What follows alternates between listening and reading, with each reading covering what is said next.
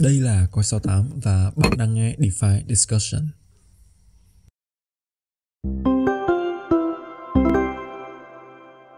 Ok, xin chào các bạn và chào mừng quay trở lại với DeFi Discussion và mình là Hồng Phong đến từ Coi 68 và cũng vậy rất lâu rồi, chắc là bốn năm tập gì đấy uh, mình không có thời gian sắp xếp được để uh, ngồi podcast cùng với mọi người. Thì uh, vừa rồi có một số việc mà nếu như các bạn theo dõi qua số 8 thì chắc là các bạn cũng có biết nhưng mà đó sẽ là câu chuyện của một ngày khác. Và mình rất là vui khi mà hôm nay một buổi tối thứ hai có dịp lại được ngồi trò chuyện với mọi người về những cái gì biến mới nhất của thị trường. Nhưng mà trước khi uh, chúng ta bắt đầu thì mình sẽ để một nhân vật quen thuộc gửi lời chào đến các bạn. Ok, xin chào anh em. À, thì uh, rất vui được gặp lại anh em trong một tuần mới. Và đây là một tập mới của podcast DeFi Discussion. Thì uh, cũng chia sẻ luôn với anh em là trong nội bộ team với nhau á, thì cũng có rất là nhiều những cái chia sẻ liên quan đến việc là liệu cái tập tiếp theo của DeFi Discussion có phải là tập cuối hay không. Và chúng ta sẽ làm tới bao giờ. Thì à, hiện tại thì chúng ta vẫn chưa có chúng ta vẫn chưa có lời lời giải cho câu hỏi đó thì uh, đây là một tập nữa à, one more episode ha thì à, uh, một một cái phần uh, màu đầu nó cũng hơi dài dòng nhưng mà hy vọng là cái câu chuyện mà tụi mình uh, chia sẻ trong tập tuần này uh, những cái góc nhìn nó sẽ đâu đó mang lại những cái giá trị cho anh em đang tham gia thị trường uh, crypto ha. Yeah. Và thực ra là trước khi mà bắt đầu ở uh, podcast này thì mình và Nguyên cũng có trao đổi với một số thứ về cái chủ đề mà bọn mình sẽ nói. Thực ra là bảo là một chủ đề mới thì cũng không hẳn là mới. Đây là cái từ khóa mà một trong những cái mục tiêu đầu tiên uh, được tạo ra là những ứng dụng của blockchain. Nhưng mà chúng ta đã quá uh, bị cuốn vào những cái cuộc chơi về tài chính về token về mọi thứ. Mà đến bây giờ đến bây giờ thời gian gần đây khi mà những cái narrative khác nó bắt đầu nó giảm bớt nhiệt rồi thì chúng ta mới có nhiều cái uh, không gian hơn và thực ra là cũng có nhiều dư địa hơn để mà nói về cái câu chuyện này đó là câu chuyện về real world assets uh, là tài sản trong thế giới thật và được uh, tokenize ừ. thông qua blockchain. Um, thực ra thì uh, cũng không cũng hoàn là mới đâu vài tháng trở đây thì mọi người bắt đầu nói về cái này rồi. Uh, nhưng mà trước khi đào vào sâu hơn thì chắc là mình sẽ để Nguyên uh, giải thích cho mọi người xem real world asset là cái gì và từ góc nhìn của Nguyên á thì tại sao nó lại được đáng đáng được quan tâm. Ừ, ok. Thì uh, cái từ uh, real asset thì uh, chắc là nó bản thân cái cái cái từ này cái nghĩa là của trong tiếng Anh của nó thì cũng phần nào giải thích được cái vai trò của nó ha. Thì uh, nó là những cái tài sản ở thế giới thực. Thì anh em có thể hiểu hình dung là những cái bất động sản này hoặc là những cái uh, dạo gần đây thì chúng ta thấy là người ta hay bán những cái đồng hồ mà có ừ. giá trị cao ấy hoặc là phổ biến nhất hiện tại thì là những cái giấy tờ. Ví dụ như là những cái trái phiếu của chính phủ thì họ cũng uh, họ cũng gọi là custodize lại tức là họ lưu ký lại và họ tokenize nó. Họ uh, token hóa nó lên trên không gian của uh, blockchain. Thì đây là một cái ngách có thể coi là một cái ngách mà uh, rất là nhiều giao thức họ đang uh, ứng dụng. Hiện tại á thì nếu nếu mà nói về reward asset á thì khi mà đọc các cái thông tin ở trên media báo đài thì anh em chắc là biết nhiều đến MakerDAO thì họ cũng gần đây thì trong cái báo cáo gần nhất của họ thì hiện tại là cái tổng uh, giá trị tài sản dưới cái danh mục là uh, reward asset của họ thì đâu đó tầm khoảng 2,3 tỷ rồi cán mốc 2,3 tỷ rồi tức là họ mua những cái uh, trái phiếu chính phủ Mỹ á, và bảo chứng cho những cái uh, stablecoin DAI của mình. Thì uh, trả lời cái câu hỏi là tại sao nó trở nên gọi là hot và hấp dẫn thời gian gần đây thì cái này đầu tiên á chúng ta phải hình dung á, là cái game về tài chính thì nó là cái game về dòng tiền, đúng không? Thì à, người ta hay nói là à, à blockchain khi nào mà nó mass adoption thì nó sẽ có một cái lượng tiền từ cái thị trường tài chính truyền thống, nó đổ vào cái thị trường crypto. Thì đây là một trong những cái lý do mà tại sao người ta nói nhiều về cái câu chuyện là real world asset nó đáng chờ đợi, tại vì nó là một trong những cái narrative mà nó có thể khuyến khích những cái tổ chức tài chính truyền thống à, đổ tiền vào trong cái, gọi là một cái thị trường mới nổi như là DeFi thì cái đó là cái cái cái câu chuyện đầu tiên về narrative.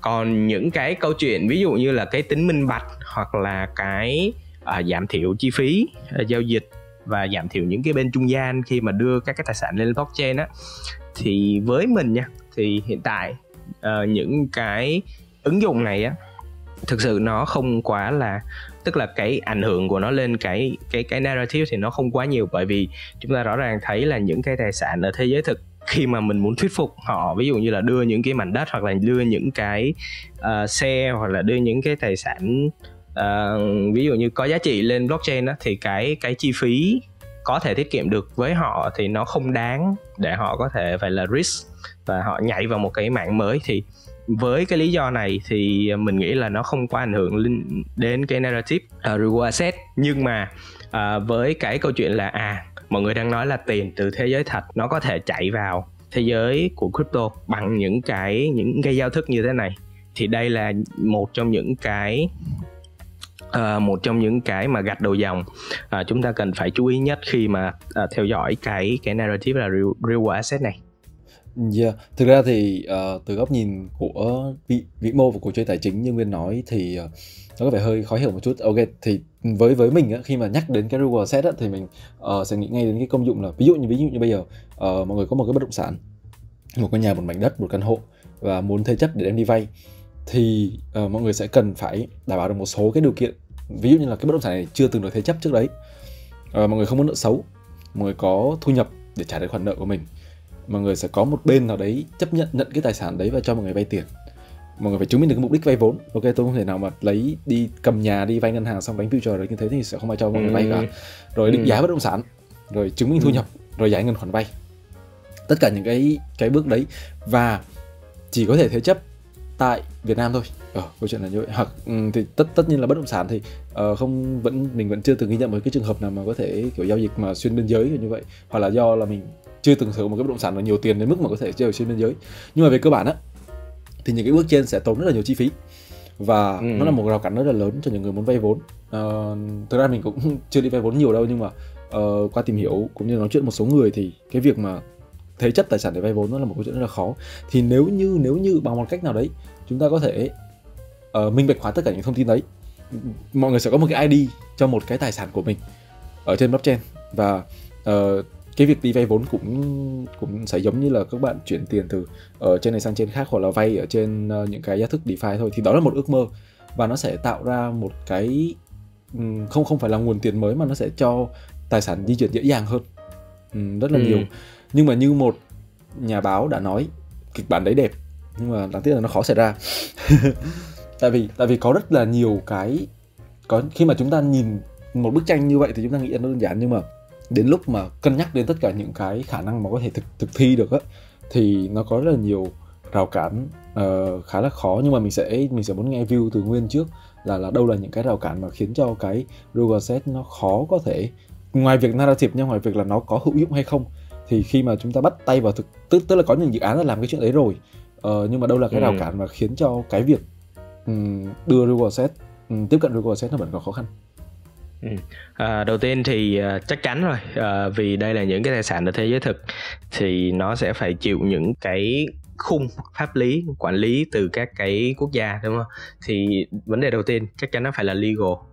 Cách đây khoảng một hai ngày gì đó uh, thì uh, ở bên nếu mà anh em đọc có đọc tin ở trên cơ số 8 thì sẽ thấy là ở bên Mỹ thì nó đã có những cái dự luật mới uh, liên quan đến các cái giao thức DeFi và yêu cầu các cái giao thức DeFi này nó phải có một cái uh, quản lý uh, người dùng này hoặc là những cái chính sách để chống rửa tiền hoặc là những cái uh, những cái hoạt động mà lách luật thông qua những cái giao thức DeFi này. Thì bản thân những cái giao thức DeFi á nó nó bình thường. Uh, nó đã khó sống rồi đúng không? Thì nếu mà nó đứng ở ở giữa và nó đưa ra một cái giải pháp là kêu là ok bọn tôi sẽ còn gắn thêm một cái khúc mà uh, gắn thêm một cái khúc là chuyển từ real asset vào cái không gian blockchain nữa. Thì thì thì thực sự nó rất là nhung nhằn à, và và và những cái vấn đề liên quan pháp lý thì thực sự bọn mình ngồi đây nói với nhau là à biết vậy thôi chứ thực ra nếu như mà để mà thực sự là các cái quốc gia nó có những cái khung pháp lý như thế nào và chi tiết nó ra sao để giải quyết cái bài toán đó thực sự mình không không không thể biết được. Và bản thân uh, nếu mà chúng ta đọc những cái uh, doc hoặc là những cái yêu cầu của các cái bên uh, làm trong cái mạng tạm gọi là làm trong cái mạng real world asset này đi thì chúng ta sẽ thấy là họ có những cái yêu cầu đó là khắt khe về ờ, uh, KYC nè và những cái uh, lượng tiền minimum uh, gọi là những cái những cái tiêu chuẩn nó rất là khắt khe và uh, những cái vấn đề này thì như anh em mà gọi là hay tham gia Degen hoặc là DeFi thì thì sẽ rất là nhạy cảm với những cái cái câu chuyện này đúng không? Vì uh, cái core value ha, cái cái ethic tức là cái cái câu chuyện mà DeFi nó muốn kể là à bọn tôi muốn tách biệt khỏi những cái rào cản đó và bọn tôi muốn tạo ra một cái môi trường tự do thì tại sao lại phải KYC rồi làm theo những cái yêu cầu đó? Thì chính là những cái rào cản về pháp lý và những cái gọi là xung đột về mặt gọi là ý thức hệ đó đó. Thì nó phần nào nó khiến cho cái quá trình là uh, thúc đẩy cái real world asset này nó phát triển. Uh, chắc là nói lên la một xíu đi ha thì chúng ta sẽ rẽ qua cái câu chuyện của các cái bitcoin ETF uh, ờ, thời gian gần đây và nếu như mà thực sự bằng một cách nào đó chúng ta chúng ta có thể gọi là không không so sánh chi tiết ha nhưng mà gọi là nếu như mà xét về cái vai trò thực sự chúng ta thấy là những cái bitcoin ETF của các cái tổ chức lớn họ đang đăng ký với giới chức Mỹ thì nó cũng cái vai trò nó thực sự cũng khá là giống với những cái giao thức real asset này. Rõ ràng là họ cũng đang phải gọi là chiến đấu rất là kịch liệt để có được cái approval à, có được cái chứng nhận từ các cái bên quản lý và um, và và đây là những cái rào cản nó rất là lớn và nó khiến cho một cái lượng tiền nó vẫn chưa thể nào chảy vào trong cái thị trường uh, crypto và thị trường DeFi được ở thời điểm hiện tại. Yeah. Uh, nhưng mà quay trở lại câu chuyện ở ờ, uh, khúc đầu uh, của cuộc trò chuyện này Nguyên có đề cập đến uh, MakerDAO uh, ừ. là um, có thể gọi là người lá cờ đầu đấy lá cờ đầu trong việc uh, đưa Google Set vào uh, không gian DeFi và thực ra họ cũng có khá là nhiều cái thành công trong cái việc này. Uh, mình đang nhìn vào một cái chart về uh, tỷ trọng doanh thu của MakerDAO thì bất ngờ thay là ok doanh thu của MakerDAO thì có thể đến từ uh, liquidity pool có thể đến từ uh, một số cái phí ấy khác nhưng mà 55,9% à, doanh thu ừ. của MakerDAO lại đến từ uh, Google Assets là có phải là họ mua bond xong rồi họ hưởng cái yield đấy không? Ừ đúng rồi đúng rồi. Thì cái câu chuyện của MakerDAO á là một cái câu chuyện mà nó khá là gây tranh cãi à, về cái khía cạnh là tiền nó đang chảy từ thị trường truyền thống vào với DeFi hay là nó đang chạy từ thị trường DeFi ra thị trường truyền thống. Thì đúng ừ. Tại vì chúng ta biết là cái đề xuất chuyển đổi sang cái real asset của MakerDAO á thì nó lấy cái nguồn tiền từ USDC và bản thân họ cá nhân mình nha thì thấy là đây là một cái động thái mà rất là ít người chú ý. À, vì MakerDAO á ở trên truyền thông họ sẽ nói là như thế nào? Họ sẽ nói là chúng tôi muốn giảm thiểu giảm thiểu cái tác động của USDC đúng không? Nhưng mà yeah. thực thực ra thì cái cái action của họ là gì? Họ lấy USDC họ mua uh, mua trái phiếu. Sau đó họ bỏ cho một bên custody nào đó một bên lưu ký nào đó và nói là à cái lượng trái phiếu này nó đang uh, backing cho DAI. Và uh, với việc là cái trái phiếu bây giờ nó cũng có một cái lượng yield nó gọi là nó vượt trội à, tạm gọi là vượt trội đi à, so với những cái yield ở trong thị trường DeFi. À, thì à, ở trong DeFi thì à, có thể thấy là cái yield hiện tại nó cũng đang khá là lèo tèo uh, nếu mà anh em nào mà thực sự mà muốn có một cái yield cao ở trong DeFi á, thực, thực sự bây giờ chỉ có nhiều cái cách là ví dụ như kết hợp những cái protocol với nhau xong rồi đòn bẩy farm chỗ này farm chỗ kia thì cái đó nó rất là phức tạp cái đấy dùng. mình thừa nhận là mình không làm được nha chịu ừ, đúng rồi. thì thì thì cái đó là phải có nghề đúng không giờ yeah. mấy ông là phải gọi là hiểu rõ cái product làm sao đó để để quản lý rủi ro tại vì uh, không có cái cái yield nào mà nó gọi là miễn phí cả nhưng mà MakerDAO á, họ đang tận dụng cái nguồn yield của real asset cụ thể ở đây là cái yield từ trái phiếu để họ tăng cái yield cho cái đồng đai của họ. Thì đó là cái cách mà ờ, uh, MakerDAO họ họ đang gọi là cái cái hướng đi mà họ đang lựa chọn. Thì rõ ràng là đúng như cái số liệu của phong có chia sẻ hồi nãy chúng ta thấy là cái cái doanh thu nó thực sự nó nó được thúc đẩy rất là nhiều từ cái nguồn yield mà các cái trái phiếu từ chính phủ Mỹ mà MakerDAO đang đang đang đang đang lưu trữ. Yeah.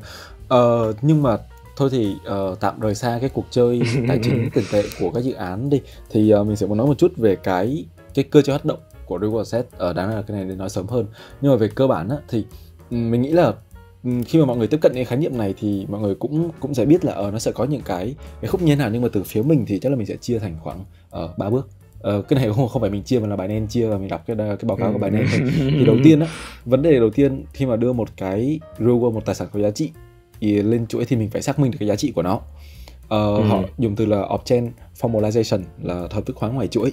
Thì đầu tiên là họ phải uh, phải chứng minh là phải xác định xác minh là tài sản đấy là của ai. Rồi tính hợp pháp của nó là gì.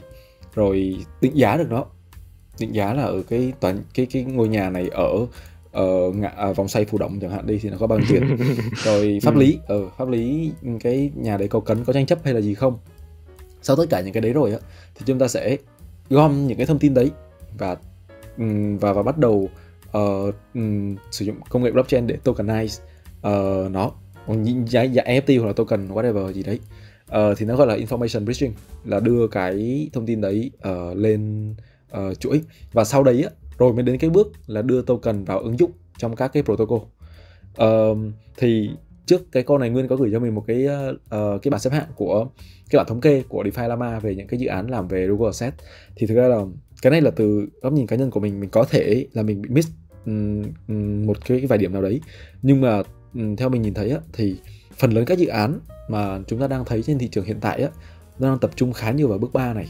Tức là ừ. token hóa đưa cái token đấy vào trong protocol mà trong khi cái bước quan trọng chúng ta đều phải đồng ý với nhau đúng không là cái bước quan trọng nhất là cái bước xác minh được cái tài sản của nó thì ừ. thì thực ra là câu chuyện là gì câu chuyện là marker DAO á chọn bond để làm Google set cũng dễ hiểu thôi tại vì cái giá trị của nó được là là quá rõ ràng rồi được xác minh quá rõ ràng rồi và rất là dễ khi mà họ chọn một cái tài sản như thế nhưng mà nếu mà là câu chuyện về bất động sản về tranh ảnh quý hiếm về ừ. uh, quyền sở hữu trí tuệ chẳng hạn đi thì ừ. lúc đấy cái gánh nặng cho những bên làm bước một đó, nó rất là kinh khủng. Và thực ra chúng ta đã có uh, các bên big four kiểm toán audit các thứ để làm những cái đấy rồi.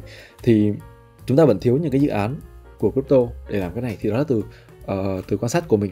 Và từ cái quan sát đấy á, nó dẫn đến một cái việc bản thân mình là một là một người bình thường thôi mình có thể nhìn thấy được cái bức tranh đấy. Thì tất nhiên là những cái tay to ở ngoài kia những người đầu có sỏi trong thị trường này người ta đều nhìn thấy cái cái ờ, vấn đề đấy. Câu hỏi là tại sao họ không làm? Thì ừ. uh, mình đoán thôi cái này cũng là một cái vò đoán của mình. Mình đã nhìn vào một cái cái bảng khác uh, một cái chart khác mà cho thấy là uh, cơ cấu của các lĩnh vực hoạt động trong lending của real asset. Thì uh, những cái lĩnh vực mà có tỷ trọng cho vay nhiều nhất ấy, thì possible là nó sẽ có dòng tiền nhiều nhất để possible chảy vào real asset ở trên blockchain. Đầu tiên là auto là ô tô thị trường ô tô cũ á, chẳng hạn như vậy. Uh, fintech ừ. và consumer. Thì đây là những cái uh, lĩnh vực mà có uh, nhiều cái tỷ trọng cho vay nhất. Thì câu chuyện là câu chuyện là gì? Mình lúc này mình có chia sẻ với nguyên rồi là có thể là cái cách cũ có thể là cái thị trường cũ người ta vẫn đang vận hành ổn mà người ta không cần lên blockchain để làm gì cả. Tại vì cái cách cũ nó vẫn đang là ok và chưa chắc chưa chắc là chúng ta gắn cái blockchain lên đấy thì nó đã giải quyết được vấn đề của người ta. Ừ. thì biết cái view của nguyên ừ. vấn đề này như thế nào? Rất là đồng ý về cái cái khía cạnh là tại sao mà các giao thức hiện tại họ chỉ dừng lại ở cái trái phiếu thôi? Vấn đề nó nằm ở cái cái khâu phức tạp là cái định giá cũng như là cái uh, xác thực và kiểm toán. Để bản thân chúng ta thấy là cái trái phiếu á nó cũng có rất là nhiều tức là cái trái phiếu nó cũng tạo ra một cái yield. Cái cái yield này dù nó ít thôi nó tầm 5% một năm thôi nhưng mà ít nhất là nó vẫn có một cái yield và nó có thể có thể coi là tiền từ thị trường bên ngoài nó chạy vào đúng không? Ừ. chạy vào còn cái ví dụ như là những cái ô tô chẳng hạn hoặc là những cái thì về cơ bản nó không tức là nó nó không nó không có cái hoạt động gì đó để xin lợi trừ cái việc là bạn thế chấp cái ô tô đó và đi vay và thu phí vay thì cái đó là nó nằm bên trong cái hệ sinh thái của DeFi. Nếu như mà họ thực sự họ bê cái tài sản đó lên DeFi họ họ bê cái một cái ô tô hoặc là cái gì đó hoặc là một cái gì đó họ có thể thế chấp để cho vay thì cái phát sinh doanh thu là nó đến từ cái khoản vay. À, thì nó là nội bộ ở bên trong DeFi rồi chứ nó không hẳn là một cái gì đó nó bê được một cái giá trị gì đó từ bên ngoài vào trong blockchain cả. Cho nên là có thể có thể là cái lợi tức của trái phiếu nó là một cái yếu tố mà à, bên cạnh cái việc là nó dễ à, định giá thì nó là một trong những cái lý do mà tại sao các cái bên họ họ họ ưa chuộng cái công cụ này và một cái phần tức là một cái thuyết âm mưu thôi của cá nhân mình. Nãy có chia sẻ rồi tức là nãy có chia sẻ trước cái phòng trước cái podcast này tức là một cái thuyết âm mưu thôi đó là các cái giao thức DeFi này họ uh, họ họ muốn lobby tức là họ muốn uh, muốn muốn gọi là làm thân với lại uh, các cái bên uh, quản lý bằng cái việc là à bọn tôi sẽ bỏ tiền ra và mua những cái trái phiếu này.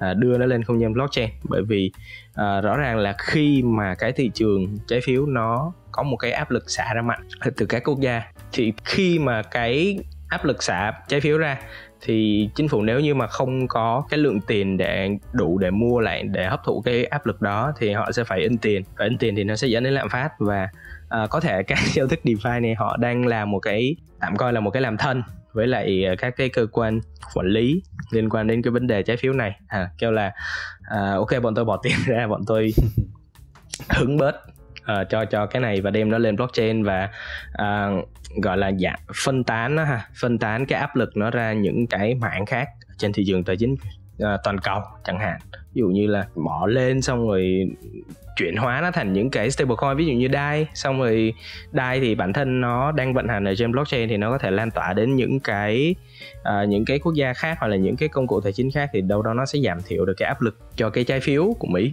Đó là một cái thứ môn và nó cũng hơi macro một xíu thì có thể nó đúng có thể nó sai. Thì uh, nói chung là cũng gọi là uh, gọi là theory thôi tức là giả thuyết vậy thôi để cho nó có một cái góc nhìn nó thú vị xoay quanh cái cái cái này. Yeah. uh, nhưng mà thực ra câu chuyện quay trở lại câu chuyện mà nó nó gần đây hơn một tí. Uh, bất kể là uh, có những cái rào cản bất kể là có những cái thứ như mà mình vừa nói những cái bài toán rất là khó để giải.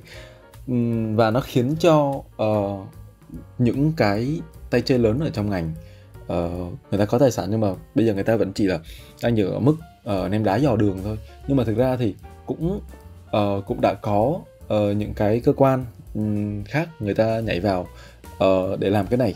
Uh, ví dụ như là cái gần đây nhất là ngân hàng uh, Societe uh, Gener- Generale. Oh, sorry tiếng Pháp ừ. không tốt lắm. Thì đó là một ngân hàng của Pháp uh, ngân hàng lớn thứ ba nước ừ. Pháp thì đã nhận được giấy phép cung cấp dịch vụ tài sản số. Thì cơ bản thì đây là một cái có thể xem là một cái đèn xanh cho Google Set không nguyên nhỉ? Ừ, một cái cổng vào tức là một vào. một cái ừ. ừ. nhưng mà họ họ vẫn chỉ là uh, cung cấp cái dịch vụ lưu ký tài khoản rất là là custody thôi uh, ừ. chứ chứ thực ra thì họ cũng chưa có làm gì nhiều uh, khi mà khi mà thực ra là câu chuyện là gì câu chuyện là khi mà nói tài sản á thì mình sẽ hình dung đó là những cái tài sản nó physical hơn uh, còn tất nhiên đến thời điểm hiện tại chúng ta vẫn phải thừa nhận với nhau là họ vẫn sẽ dừng lại những công cụ tài chính thôi tại vì như mình nói nó ừ. giải quyết được cái bước định giá tài sản ở ban đầu ừ. tại vì ừ. suppose là những cái tài sản tài chính đã được định giá rồi và cái cái việc của họ là họ chơi cái game mà họ chơi giỏi nhất là cái game tài chính thôi ừ. Ừ.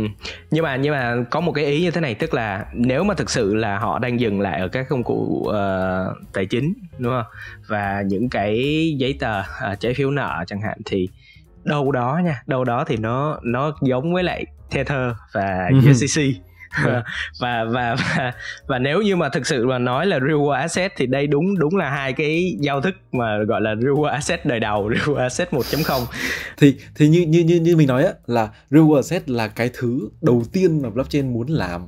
Nhưng ừ. mà nhưng mà ở câu chuyện là gì câu chuyện là chúng ta bị cuốn vào nhiều thứ khác quá. Ừ. À, nói chung là cũng cũng là một cái góc nhìn thôi nhưng mà hiện tại thì chúng ta phải thừa nhận với nhau là khi nói về những cái narrative kiểu như reward asset thì uh, nên đâu đó cho mình một cái sự thực dụng nhất định uh, để để chúng ta nhìn nhìn về những cái từ khóa này. Và khi mà theo dõi những cái nội dung thì chúng ta cũng cũng cũng có những cái góc nhìn nó uh, nó dựa trên những cái con số và những cái công cụ nó tài chính hơn và fundamental hơn. Thì lúc đó thì chúng ta sẽ đỡ bị cuốn vào những cái uh, những cái siêu ha. Tức là tức là người ta hay nói là à cái này nó tới nơi rồi tức là cách mạng tới nơi rồi tức là gần như là một cái cái cái cái gì đó gọi là uh, thay đổi cái thị trường blockchain này thì thì rõ ràng chúng ta khi mà có được những cái góc nhìn nó nó liên quan đến con số và nó nó về cái bản chất mà cái thị trường nó hoạt động và chúng ta đào sâu vào cái khía cạnh đó thì uh, rõ ràng là chúng ta sẽ có được cái cái sự bình tĩnh hơn khi mà nhìn về cái câu chuyện real asset này còn trong tương lai uh, nếu như mà những cái vấn đề về pháp lý chẳng hạn đúng không? thì nó nó được mở mở cửa và tiền nó thực sự nó chạy vào cái cái lĩnh vực này thì chúng ta sẵn sàng đón nhận nó thôi tức là chúng ta kỳ vọng vào cái tương lai đó nhưng mà thực sự ra thì chúng ta phải có được cái rational tức là cái một cái gì đó nó thực dụng khi mà nhìn vào những cái cách mà người ta đang vận hành cái thị trường ở thời điểm hiện tại để tránh những cái quyết định nó uh, chúng ta, ta hay gọi là uh, đếm cua trong lỗ đúng không? Tức là uh, là là là cứ cứ gọi là estimate là à thực ra là thị trường nó sắp bum tới nơi rồi tức là nó nó nó moon tới nơi rồi rồi à, các cái tổ chức à, tài chính à, đang bỏ tiền vô rồi các thứ thì thì thì những cái nội dung đó chúng ta thấy nhanh nhản trên Twitter. Thực sự là như vậy. Thì thực ra là cái cái câu chuyện là đến đến cái cho lộ buồn cười nhất khi mà nó đến Google Set là gì mọi người biết không? Đó là cái câu chuyện mà ở ừ, mọi người sẽ bắt đầu bảo là à cái cái cái tổng nợ thế giới ở global debt á nó là ở 300 300 nghìn tỷ đô đúng không? À, và và vốn hóa của thị trường crypto á, bây giờ đâu đấy là một nghìn một nghìn tỷ rưỡi đô um, kiểu ừ. kiểu vậy thì chỉ cần kiểu một phần trăm của cái tổng nợ thế giới chảy vào crypto ừ. thôi thì thị trường đấy là sẽ phình ra gấp ba lần.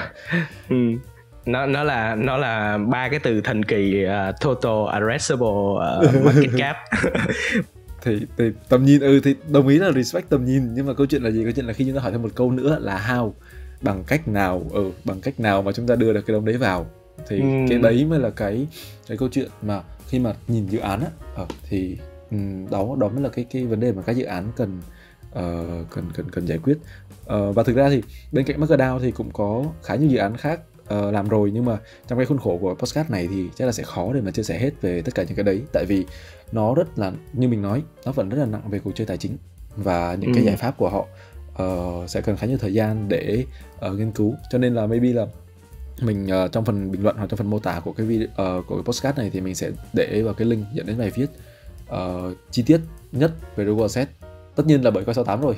Và để cho mọi người có thêm uh, space và keyword để mà mọi người uh, uh, tìm kiếm các research thông tin. Thì chắc là um, với nửa tiếng bọn mình chém gió về cái keyword này thì chắc là mọi người cũng sẽ uh, có một số cái suy nghĩ cũng như là ờ, nhìn nhận về Google Set. Ờ, và tất nhiên đây vẫn là một một lần nữa nhắc lại đây vẫn là một cái câu chuyện rất là mới và uh, thực ra tất cả uh, mọi người làm trong cái mảng này nói về cái mảng này đều là đang võ đoán dựa trên những gì mà họ có. Bọn mình cũng vậy thôi và bọn mình rất là open để nhận ừ, về những cái ở uh, những cái bình luận của mọi người. Mọi người chia sẻ về những cái gì thì có thể uh, chia sẻ cho con số 8 biết trong group Fomo 7 hoặc trong phần bình luận của video này. Thì uh, mình chắc là mình sẽ để nguyên uh, nói lời tạm biệt với mọi người sau một cái đống thông tin mà bọn mình đổ xuống đầu mọi người trong thời gian vừa qua. Rồi hy vọng là uh, anh em cảm thấy uh, vẫn rất là thoải mái sau với cái cái buổi uh, trà chanh uh, chém gió hôm nay đúng không uh, hãy xem đó là một cái buổi mà chúng ta gọi là ngồi uống nước và trò chuyện với nhau thôi. Uh, dù là cái nội dung nó nó không quá là gọi là gần gũi nhưng mà hy vọng là qua cái góc nhìn cũng như là qua cái câu chuyện vừa rồi thì uh, đâu đó nó sẽ sẽ trở nên gần gũi hơn và nó nó được uh, đơn giản hóa hơn. Tại vì uh, có một cái câu đùa mà người ta hay nói ở trong cái thị trường tài chính là uh, người ta sẽ làm gọi là gọi là cái gì phức tạp hóa những cái thứ đơn giản để kiếm tiền ở trong cái thị trường tài chính này. Thì hy vọng là đâu đó chúng ta sẽ sẽ sẽ có thể làm một cái gì đó ngược lại so với cái uh, cái cái việc đó chúng ta cố gắng đơn giản hóa những cái thứ phức tạp ở trong thị trường tài chính và uh, đưa nó về những cái thứ mà gọi là cốt lõi nhất và dễ hiểu nhất để uh, chúng ta có được những cái góc nhìn nó uh, thực sự là thực sự là sát sao nhất về cái thị trường và có thể tự đưa ra được những cái quyết định nó phù hợp cho cá nhân mình trong thời gian tới. Rồi thì uh, chắc là phần outro này nó cũng hơi dài thì uh, thôi thì uh, dừng lại cho host của tập podcast tuần này Ờ, ok thì mình cũng sẽ không nói nhiều đâu. Ờ, hẹn gặp lại các bạn trong những số podcast tiếp theo. Xin chào.